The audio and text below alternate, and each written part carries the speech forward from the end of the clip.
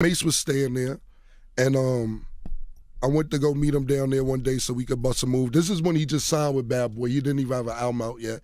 He was just getting signed, and I went to use a bathroom, and it was a dildo, um, on the bathroom sink.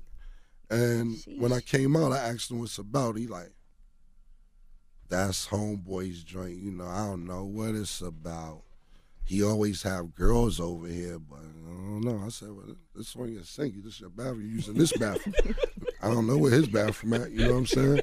So, and that's word to my son. Cause stop breathing. I But swear you to know God. what, guys?